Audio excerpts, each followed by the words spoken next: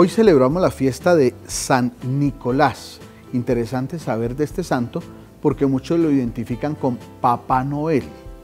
No es Papá Noel, es San Nicolás. Les voy a contar la historia. Mire, nació en una pequeña provincia de Asia Menor. Desde niño se caracterizó porque todo lo que conseguía lo repartía entre los pobres. Decía a sus padres, sería un pecado no repartir mucho, siendo que Dios nos ha dado tanto. Y al heredar la fortuna de sus padres, la repartió entre los más necesitados. Este santo eh, en alemán se llamaba San Nicolaus y por eso lo empezaron a llamar Santa Claus, ¿ya? Murió en el 345, es patrono de los niños y los marineros.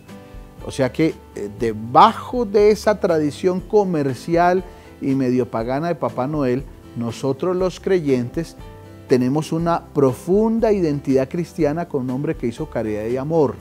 Entonces nos quedamos con esta y desechamos la, comercial.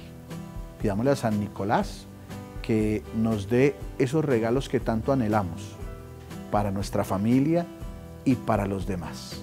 ¿Cuáles? Oremos por ellos.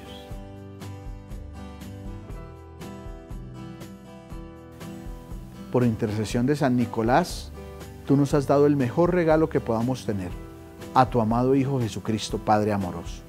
Permítenos comunicar ese gran regalo a toda la humanidad por intercesión de la Santísima Virgen y que también podamos acompañar con amor y con detalles de caridad y de bondad a todos los seres queridos, en especial a los más necesitados. Bendícenos. Amén.